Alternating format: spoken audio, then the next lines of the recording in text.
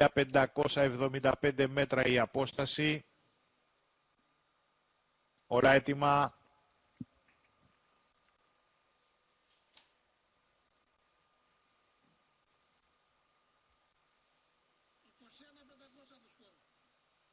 Στα 22.000 ευρώ περίπου το σκορ 6 εκείνη η κούρσα με το νούμερο 2 τη Λόβα Μπλέλε να πετάγεται μπροστά και τον Γιουνεύρε Καντέλ όπως και την Free Will να έρχονται εξωτερικά. Η Free Will θέλει να περάσει μπροστά αλλά πιο εύκολο βήμα Γιουνεύρε Καντέλ προωθείται απ' έξω μαζί.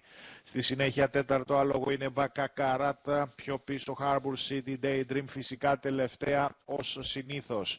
Οδηγούν την υποδρομή από την εσωτερική Free Will δίπλα Γιουνεύρε Καντέλ πίσω του στο Κάγκελο βρίσκεται και η Λόβα Μπέλεν στη συνέχεια Μπακακαράτα, Harbor City, Daydream σε απόσταση.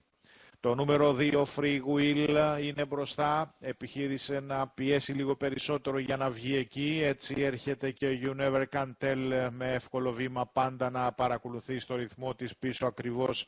Lova Belen και φυσικά Μπακακαράτα, πέμπτο άλογο Harbour City Daydream μόνιμα τελευταία. Και πάμε για τα τελευταία 600 μέτρα, εδώ είναι η σημαδούρα των 600 μέτρων με τη Free Will και το You Never Can Tell που στο βήμα του θέλει να προηγηθεί, έρχεται και Μπακακαράτα πιο έξω. Λοβαμπελέν επίσης θέλει να ξεμπλοκαριστεί για να κάνει φινή. Και μπαίνοντας στην ευθεία το νούμερο 3, You Never Can Tell κατά δύο και από τον ομόσταυλο. Μπακακαράτ στα τελευταία μέτρα και Λοβαμπελέν στην συνέχεια.